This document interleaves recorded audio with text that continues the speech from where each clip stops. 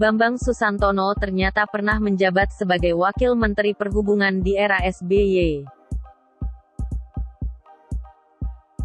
Bambang Susantono merupakan lulusan teknik sipil dari ITB. Ia juga memiliki gelar master di bidang teknis transportasi dan gelar PhD dalam perencanaan infrastruktur.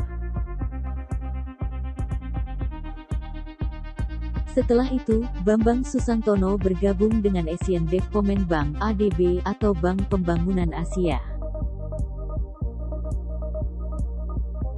Soal seberapa dekat hubungan Jokowi dan Bambang, tak banyak catatan mengenai hal itu.